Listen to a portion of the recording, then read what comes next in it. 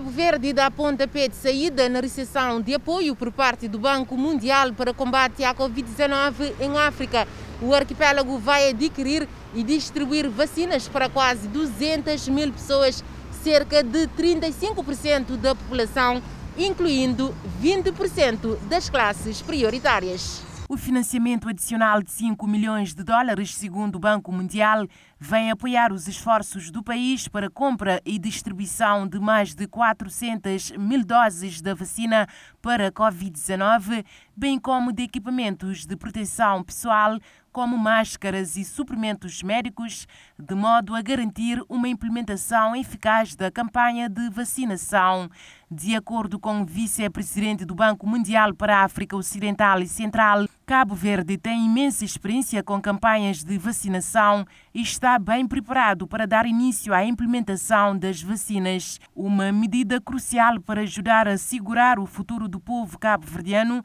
para recuperar empregos e alavancar a indústria do turismo, particularmente impactada pela pandemia, diz o responsável Usmani Diagana. Informações disponibilizadas pelo Banco Mundial dão conta que o projeto financiará também o equipamento e transporte para uma cadeia de frio e melhoria da infraestrutura de saúde para ajudar na reabertura do país ao turismo. A economia cabo-verdiana tem sido afetada pela crise pandémica, com uma contração estimada para o PIB de 11% em 2020. A queda na entrada de turistas, segundo o Banco Mundial, está estimada em cerca de 70% em 2020, com a taxa de desemprego à volta de 20% e a de pobreza mais do que dobrou de 20% para 45% no curto prazo. Em resposta à pandemia da Covid-19, o Grupo Banco Mundial em Cabo Verde